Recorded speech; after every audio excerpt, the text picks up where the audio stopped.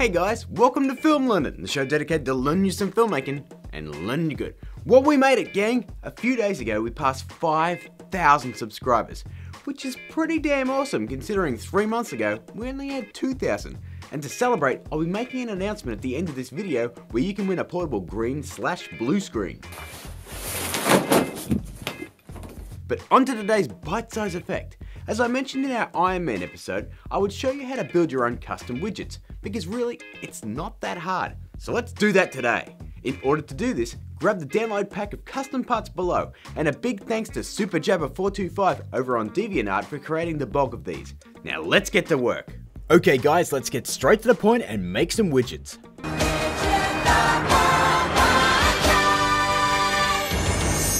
Well okay, that was a joke. Anyone remember that show?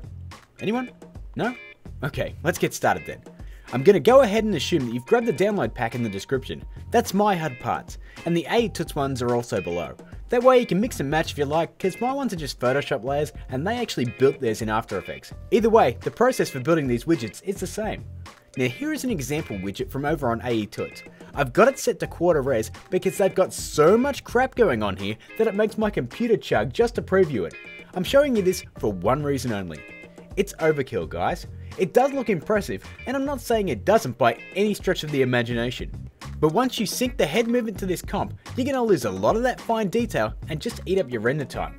My philosophy on this one is just to keep it basic and save that render time. So let's build a simple eyepiece like we see here in this example from Iron Man. So before we start building, let's check out an example of what we can make. As you can see, it's a pretty decent match to our example eyepiece. Now, let's jump over to Photoshop and I'll show you how I've put this together really quick. As you can see, here's our eyepiece. If you look over here in the layer panel, there's about 5 layers on top of each other to make it up. If I switch them off individually, you can see that each part is on its own layer. This is important for when we import it into After Effects, as we'll be able to import these layers as a composition, rather than just a standard Photoshop image. So let's head back to After Effects to see it in action. Let's double click in the project window and import our HUD eyepiece. You'll notice you have some options. It's here that we want to drop this menu down and select import as a composition, making sure that merge layer styles into footage is selected. And bam, we now have that Photoshop file in a comp with all of its separate parts beckoning us to play with them. But it's got no 3D depth. Yet. So here's how we give it some. Let's firstly head up and grab that anchor point tool, and we'll make sure all of our layers have roughly the same center point. A good guide for this is working from the very bottom and our smallest layer, and working your way up.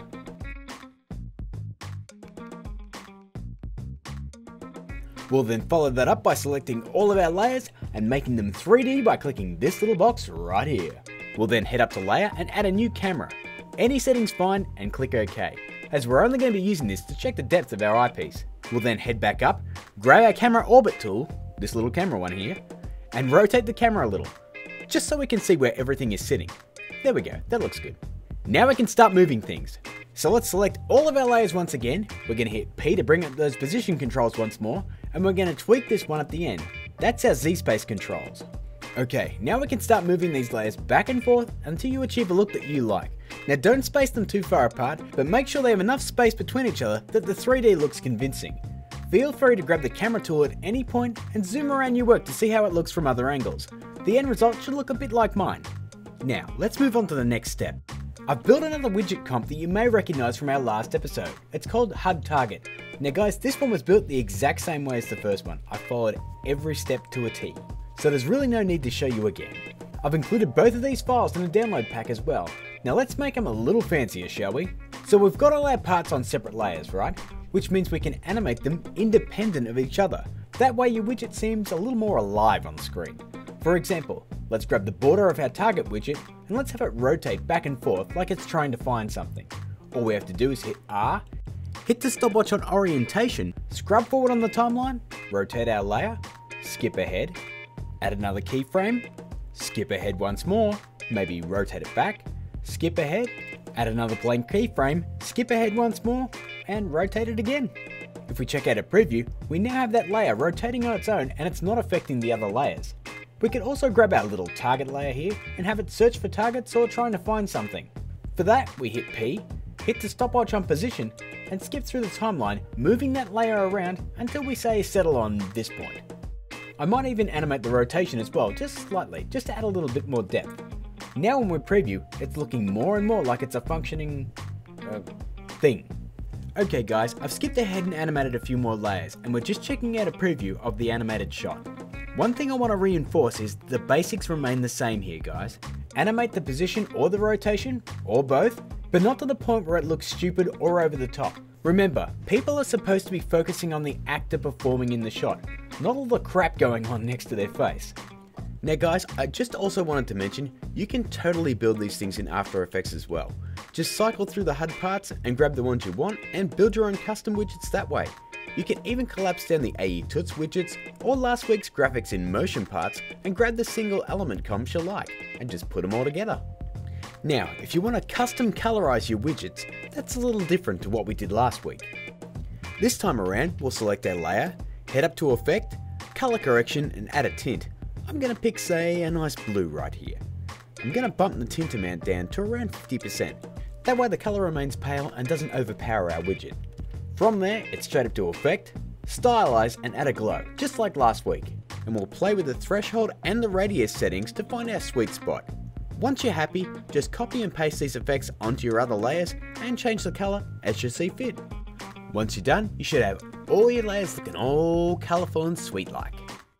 Another option if you don't want to tint and glow is using Video Copilot's Lightsaber Glow preset if you have it. It gives you a different look, but it also looks pretty damn cool. Now our last little nugget of info here is adding some battle damage glitches to your widgets, because hey, accidents do happen. There's a really easy way to do this too, for this, I'm going to head back to our effects shop from last week. So all we have to do here is add a new adjustment layer, head over to presets and type bad, grab the preset marked bad TV weak and drop it on our adjustment layer. From there, all we do is hit T to bring up opacity, crank it down to zero, scrub ahead a little bit on the timeline, hit the stopwatch, move a few frames more, crank it up to 100, skip ahead a few frames and back down to zero again. You can then copy and paste those keyframes a few times and you'll end up with this, some glitchy widgets. But it's also affecting our footage below. To fix that, head down and turn off your footage, hit Ctrl M to add it to the render queue, change your settings to lossless with alpha right here. We'll then change the format to QuickTime and render out a widget pass of your footage. We'll then import that back into After Effects, turn off those old widgets, drop our glitch footage in and change the transfer mode to screen. We'll then head down and turn our footage back on, and there you have it. We now have battle damage glitchy widgets. See? Told you it was easy. Like, really easy. So that's building custom widgets for your own Iron Man HUD.